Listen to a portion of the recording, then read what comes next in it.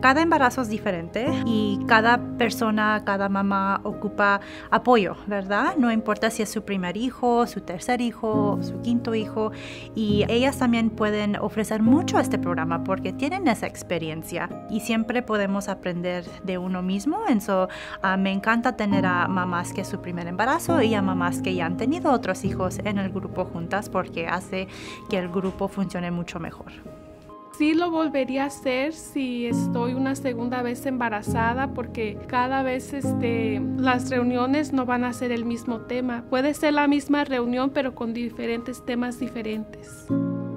Como en el caso de que eh, cuando nos dijo la doctora Portillo que para que no se nos hincharan los pies las medias que podíamos usar, a mí me han servido de mucho